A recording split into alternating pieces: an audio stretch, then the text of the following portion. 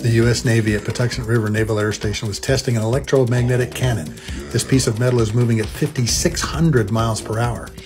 Future Navy ships may be able to propel a dart like this at seven times the speed of sound, allowing it to go through anywhere between 6 to 12 inches of armor plating.